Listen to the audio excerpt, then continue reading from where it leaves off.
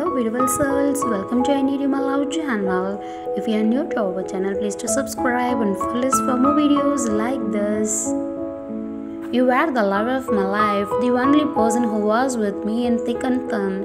Now that I don't see you around anymore, nothing makes sense anymore.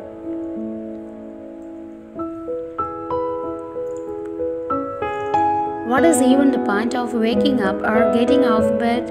Everything seems so pointless to the point where I have started to doubt myself. I don't really know how to do this all by myself. I don't really know how to do this all by myself.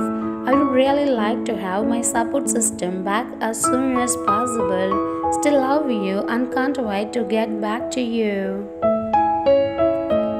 Look, I don't really care about what has already happened between us. What I really care about is this moment and how to get my girl back. We are both in a tight spot right now.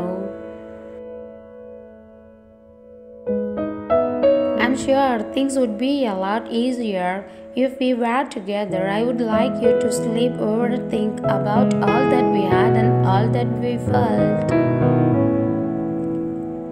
I hope this message finds you well. I wanted to take a moment to express how much you mean to me and how deeply I regret this message I have made in our relationship. Losing you has made me realize the immense love and happiness we shared. I now understand the importance of communication, trust, and compromise.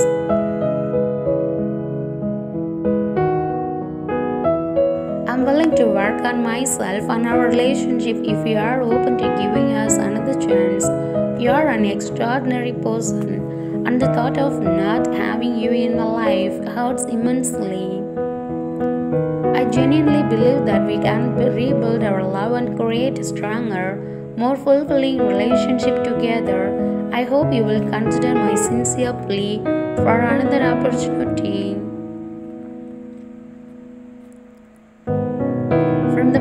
Met, my heart knew that you were someone truly special.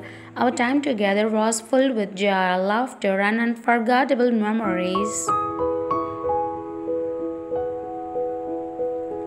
It pains me to think that I have let our relationship slip away due to my own shortcomings. I have had time to reflect on my actions and the impact they have had on us. I now realize the gravity of my mistake and the pain I have caused you. Please know that I am committed to changing and becoming a better partner for you.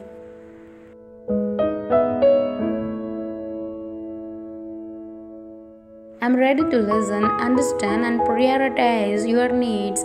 I still believe in the love we once shared, and I'm willing to put in the effort to rebuild what we had.